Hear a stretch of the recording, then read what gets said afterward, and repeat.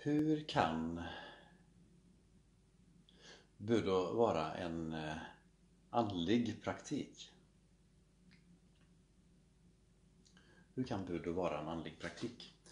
Um, mm. För mig så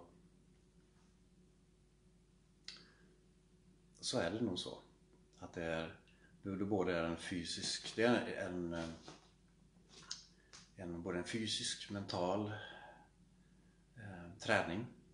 Eh, egentligen en holistisk träning där man har hela aspekt, alla aspekter samtidigt, om man vill. Eh, en andlig art, anledningen att jag tvekar lite det är att jag försöker att se vad det är som dyker upp i huvudet här och så eh, om jag kan få ihop det på ett sätt så att det inte låter för flummigt. Um, inledningsvis av eh, kartan här eh, så gör jag en sekvens av rörelser. Jag tror jag visar dem eh, jag tror jag ska visa dem en gång och så förklarar jag samtidigt. Och där blir också mitt svar tror jag. Ja, så gör jag.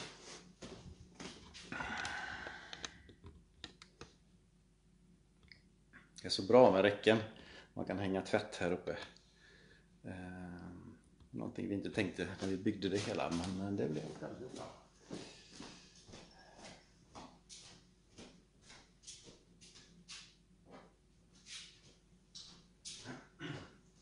Så hur kan Budo vara en, eh, en eh, andlig praktik? Det var frågan. Ska vi se så att jag inte trampar i klaveret här. Så blir nog bra.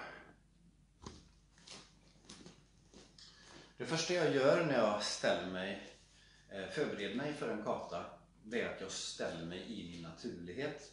Jag står alltså inte i med hälarna ihop med subidac, alltså i vaktställning, för jag förbereder mig inte för krig.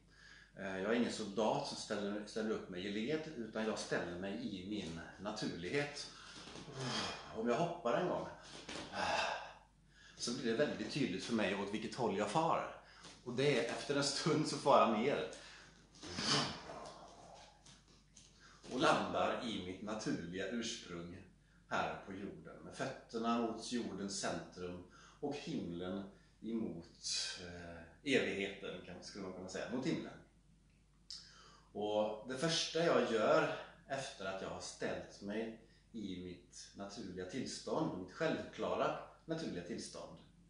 Ehm, bara det är en andlig aspekt som vi människor kan leta efter i hela livet utan att lyckas. Att eh, vara där man är. I kroppen, i rummet, i sammanhanget. Och nästa sak jag gör det är att jag öppnar upp mot himlen.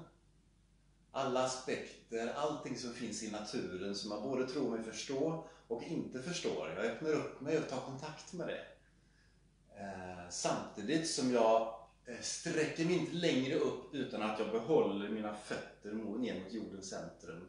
Och där har vi en annan aspekt, att vara förankrad med, med jorden. Alltså Tenchi, himmel och jord. Tenchi. Ehm, och eh, kontakt med jorden, det handlar om alla aspekter som vi i naturen som vi tror oss förstå, men också allt det där vi inte förstår. Jag tar connection med det, både himmel och jord. Så härifrån så andas jag in livet. Och delar med mig av livet på ett naturligt sätt. Alltså ett växelspel mellan yin yang om man vill, mellan himmel och jord, alfa och omega, allt och inget. Ehm, och det är inte så att jag står utanför naturen utan jag är, ehm, jag är ett med naturen och på ett plan i min känsla och tanke så finns det ingen annan utan allt är ett. Så att jag hade lika väl kunnat säga att vi ställer oss i vår naturlighet och ah. och sen sänker jag mina händer och staven eh, till hjärtat. Jag sätter alltid min avsikt alltså i ett, i ett, eh, ehm, i, ett varmt och gott hjärta. Eh, men inte bara i hjärtat utan jag sätter det också i mitt centrum samtidigt. Så att jag hittar mitt centrum i vårt, eller mitt, lättare att förklara det genom att säga mitt här. Annars är det, tycker jag att mitt och jag är lite väl ego i den storartade naturen. Ehm, och, och, om praktiken ska bli en andlig art eller ett, en, ett uttryck för andligt varande så härifrån, i min naturlighet, öppnar upp, tar in, är generös med mitt andetag. Jag lever av naturens luft och naturen lever av min utandning. Så det är ett växel, ständigt växelspel. Ehm, allt som inte, det enda som inte förändras, att allting hela tiden förändras. Det finns en rörelse. Och det är någonting som ska återspeglas i kartan också. På samma sätt som att jag har förankrad i jorden och i himlen och har ett uttryck som både man tror sig kan ta på men att det också finns någonting som är större än så. Ehm, och sen förfriskar jag mitt nu och det, det himmelska perspektivet. Jag sätter igång. Jag sätter igång energin. Eh, inom olika shamanistiska uttryck så kan man göra det här på olika sätt. Man kan ha en brummare. Man kan vissla.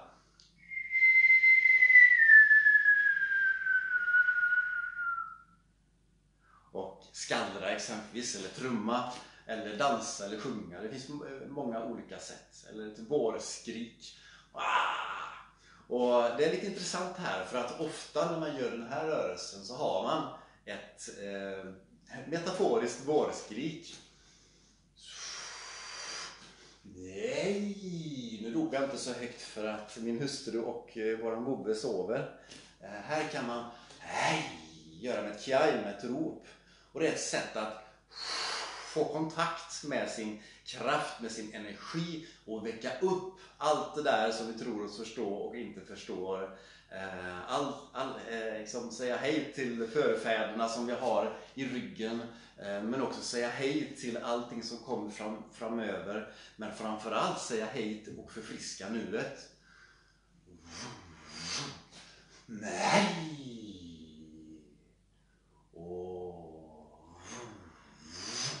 Jag sätter fart på energin och tar kontakt med jorden. Nej! Så det här är som ringar, eh, som på ringar på vatten som bara sprider sig ut i alla riktningar. Och jag tar in alla riktningar. Himmel, jord, jag sätter det i hjärtat, i mitt centrum. Och därifrån så börjar jag med en karta. Jag tar med mig alla aspekter eh, i eh, kartan. Och eh, om man utövar, utövar eh, Shinko Kishinoho, det är utan stav, men det är också gamla rörelser som har samma syfte. Det här är liksom en mini Shinko Kishinoho, alltså övningar till att eh, återgå till sitt ursprung. För det är så lätt att man tappar det i ett, när man växer upp i en kultur och försöker vara människa. Jag säger försöka vara människa för att i en andlig praktik så tänker jag att det handlar om att hitta tillbaka till sin sanna natur. Och vad är då det? Vad är då sin sanna natur? Ja, hur smakar en apelsin? Det är svårt att beskriva. Det är någonting man behöver smaka på. Eh, men om man ska dansa tillräckligt eller någorlunda nära så handlar det om att eh, hitta vad som finns i varandet eh, i kroppen, i rummet, i sammanhanget. Precis nu, och nu, och nu, och nu. Att eh, vara i ett flow i varandet, i det som är. I det som är. Ja, det är nog eh, mina ord om jag dansar runt eh, det här med att utöva budo som en andlig praktik. Eh, och eh, i yogakloster här så har vi tre ledord. Vi har avspänd närvaro, medkänsla och eh, livsvisdom. Och vi tänker att det har med vartannat att göra. Genom olika arter så kan man hitta en avspänd närvarokänsla. Och i den avspända närvarokänslan så uppkommer ofta klarsyn. Att man kan se saker och ting på ett eh, tydligare vis saker och ting blir inte lika svart eller vitt längre och man kan se saker och ting mer klart. Och när man ser saker och ting mer klart så brukar man få en eh, altruistisk känsla, alltså en känsla av att eh, Wow, vi är alla connectade med alla eh, och det är ett enda stort samarbetsprojekt. I djup meditation så kan man uppleva det här alltså metafysiskt att jag är inte mina kroppsgränser utan man blir ett med allt. Ehm, och den upplevelsen, den känslan är för mig en, både en djup andlig praktik eh, men egentligen också någonting som är väldigt naturligt och som är väldigt nära eh, den som, eh, den som vi är på riktigt under sus och brus. Halleluja! Tack!